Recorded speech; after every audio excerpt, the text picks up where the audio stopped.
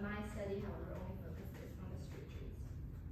Um, the urban forest is important because it provides economic and aesthetic value as well as ecosystem services to cities and residents. Economic benefits include increased property value and a decrease in the urban heat island effect. And the ecosystem services include removal of pollutants and particulate matter from the air, support of urban wildlife, of local air temperature during hot weather. So these ecosystem services provided by the urban forest will become more important with increased urbanization and the progression of climate change. Potential future environmental shifts emphasize um, the growing importance of a healthy and resilient urban forest and the requirements of planning and management. Um, so to have a healthy, sustainable urban forest that provides these benefits, um, biodiversity of the urban trees must be high. Um, biodiversity is an indicator of sustainability and resilience, particularly from pests and diseases, which are likely to become more prevalent with climate change. Uh, reflecting the history of the urban forest in the city, um, I hypothesized originally that biodiversity would be different across different areas. Uh, San Francisco's original landscape had very few trees. There's a picture, a lot of the original landscape of the city was actually sand dunes. Um, so the urban forest that we see today is a result of major tree planting efforts throughout the years, primarily during the late 1800s with the planting of Golden Gate Park and the Presidio, um, and then also during the early 1900s with the implementation of street trees, and uh, more efforts were made later. When funding for planting of urban forests was cut by the city in 1981, a nonprofit organization called um, Friends of the Urban Forest was created, and that organization has since planted over 60,000 trees, which is around a third of the population. As of 2016, um, the San Francisco street, street trees are now maintained by um, the SF Department of Public Works. Um, prior to that, maintenance was required by property owners. Um, the department um, regulates the removal and planting of trees through permits.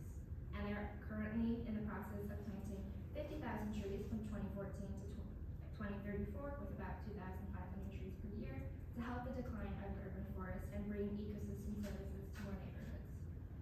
But to ensure that this effort leads to an urban forest that serves all the city's residents and is more resilient to increased hazards, the current urban forest needs to be assessed to analyze areas that could benefit from an increase in street trees and street tree biodiversity. Um, here I have this old picture. Oh no. Okay. This is Market Street. I think it's from that video of like a car, railroad car going down the street. Um, I think it's from early 1900s. There's not really, I don't think there's a tree in sight in this picture. and then this is Market Today. So, my research questions. My central research question was, how biodiverse and distributed are the street trees in San Francisco? And to look into that, um, I formed two sub-questions, the first of which looks at diversity and distribution demographically. And the second one looks to see if there are differences in diversity and composition of the trees between different neighborhoods. So I got my data DataSF, which is an open data portal provided by the city. Um, the data set for the study that I used is a street tree census from the San Francisco Street Tree Map provided by SF Public Works. And within that department is the Bureau of Urban Forestry that maintains and cares for all the city's street trees um, through a program called Street Tree SF. And they also maintain uh, the database. So whenever a public tree is planted, pruned, removed, or replaced, the tree is surveyed and the information is updated.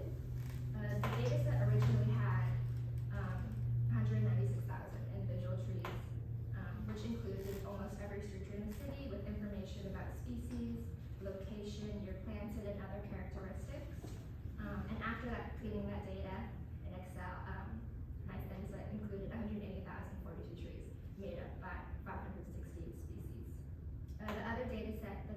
560 species. Uh, the data set also from DataSF is called Analysis Neighborhoods, um, which groups census tracts and other and census tracts into neighborhoods based on common real estate value and uh, resident definitions.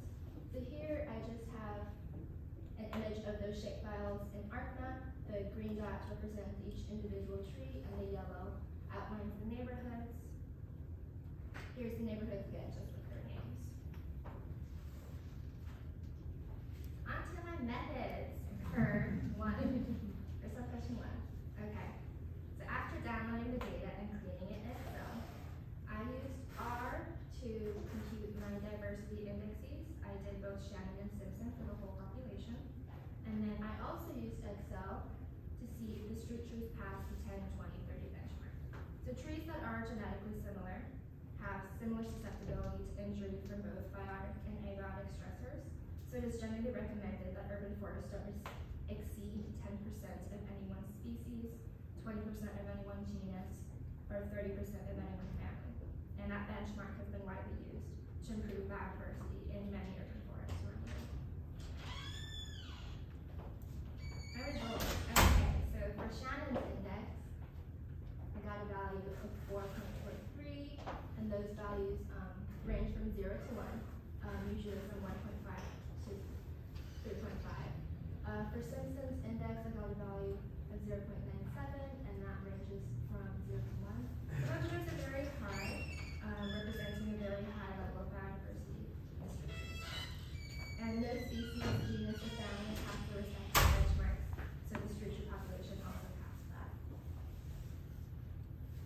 So here are some images I took um, of popular plant species, tree species.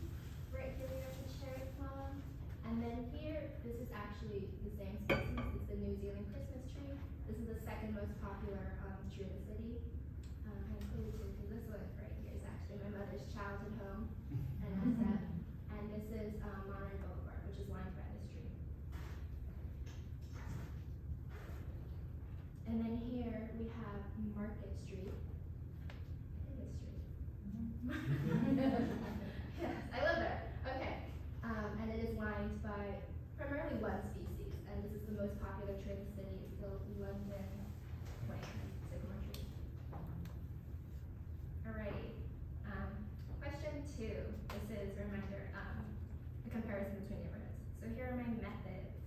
So I uploaded the same data that I cleaned earlier into ArcMap and um, divided the trees by neighborhood geospatially. And from that, I created new tables going back to Excel and then imported them into R to compute diversity indices for all of them. And then I put those diversity indexes back into R as a new shapefile, I mean, as a new field in the um, neighborhood shapefile and created a map. Um, and then the second pathway here, uh, I analyzed a handful of neighborhoods by generating a random sample of 10 blocks within each one to collect data from. So I selected trees from the largest data set uh, by block location, created new data frames and attribute tables with those. Um, and then I took the species richness and total abundance values back to Excel to make nice, to put back into R. um, to perform my one-way, not some variation. There's a lot of back to Excel, back to R, back to ArcMap, a lot of stuff. And then here is, um, I guess a suitability analysis map of um, Simpson's diversity index by neighborhood. So dark blue represents high um, diversity, and then lighter blue to green to yellow represents low diversity. Um, however, the lowest value by neighborhood is in the Tenderloin with a Simpson diversity value at 0.85, which is still still good.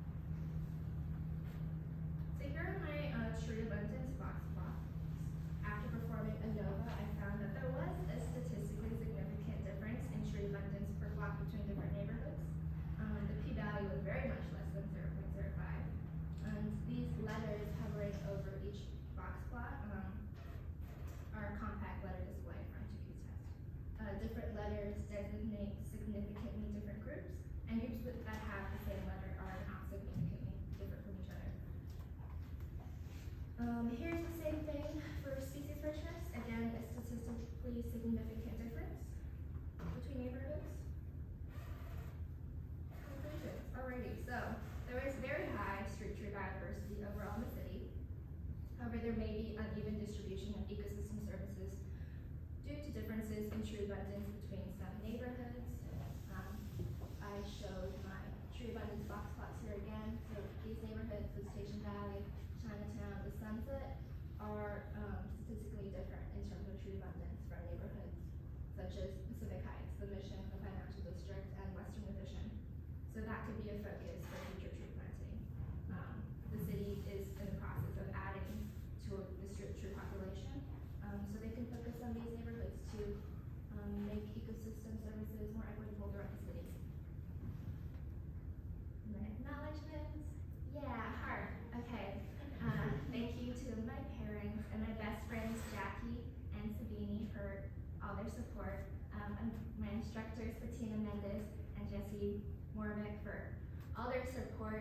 patience,